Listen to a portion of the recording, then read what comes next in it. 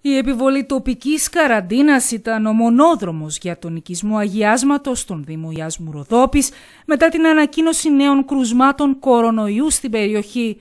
Τα κρούσματα είναι ασυμπτωματικά και εκφράζονται φόβοι ότι θα βρεθούν και άλλα τις επόμενες ημέρες. Για το λόγο αυτό, κινητή μονάδα του Εθνικού Οργανισμού Δημόσιας Υγείας βρέθηκε στην περιοχή προκειμένου να διενεργήσει τεστ για τον κορονοϊό.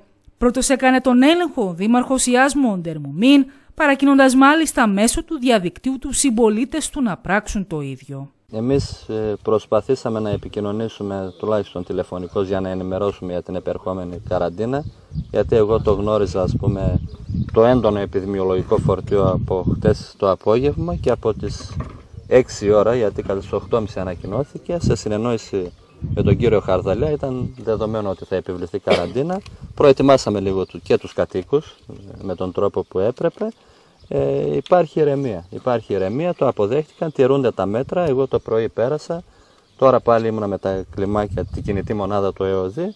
Υπάρχει αποδοχή, χρησιμοποιούνται μάσκες, από ό,τι βλέπω προσέρχεται και κόσμος. Σε έκτακτη σύσκεψη που πραγματοποιήθηκε στο θάλαμο επιχειρήσεων της πολιτικής προστασίας και λαμβάνοντας υπόψη το αυξημένο επιδημιολογικό φορτίο στην περιοχή του Ιάσμου, με εντολή του Υφυπουργού Πολιτικής Προστασίας και Διαχείρισης Κρίσεων Νίκου Χαρδαλιά, αποφασίστηκε η λήψη περιοριστικών μέτρων για επιτακτικούς λόγους αντιμετώπισης σοβαρού κινδύνου δημόσιας υγείας. Αυτό που θέλω να τονίσω και να κάνω προτροπή στον κόσμο να πω ότι υπάρχει μεν χαλάρωση των μέτρων, αλλά όχι κατάργηση των μέτρων. Καλοκαιράκι είναι, καλό θα είναι οι αποστάσεις βασικά να κρατάμε και οι εσωτερικοί χώροι να αποφεύγονται.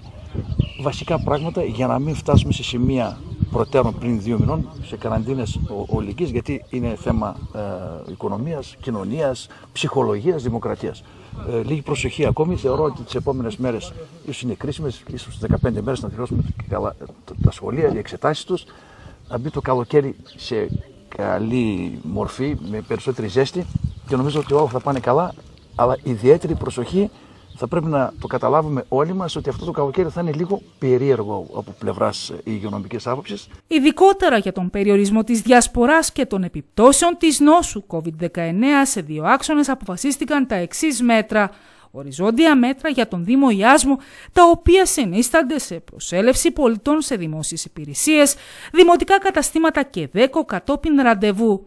Υποχρεωτική χρήση μάσκας σε όλες τις ιδιωτικές επιχειρήσεις και καταστήματα, απαγόρευση και αναστολή λειτουργίας λαϊκών αγορών και εν γέννη υπαίθριου εμπορίου για 14 ημέρες.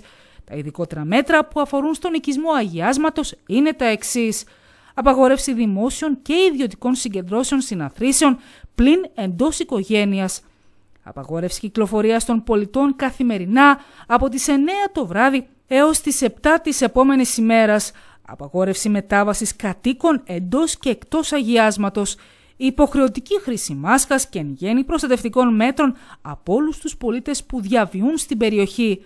Τροφοδοσία εμπορικών καταστημάτων θα γίνεται με υποχρεωτική χρήση μάσκας, λήψη μέρημνας από την Περιφέρεια Ανατολικής Μακεδονίας και Θράκης και τον Δήμο για την τροφοδοσία και την παροχή ειδών πρώτης ανάγκης των κατοίκων του οικισμού και για την κάθε είδους συνδρομή σε περιπτώσεις κατοίκων χρονίως πασχόντων και αναξιοπαθούντων περιοριστικά μέτρα θα ισχύσουν για 7 ημέρες, δηλαδή έως τις 23 Ιουνίου.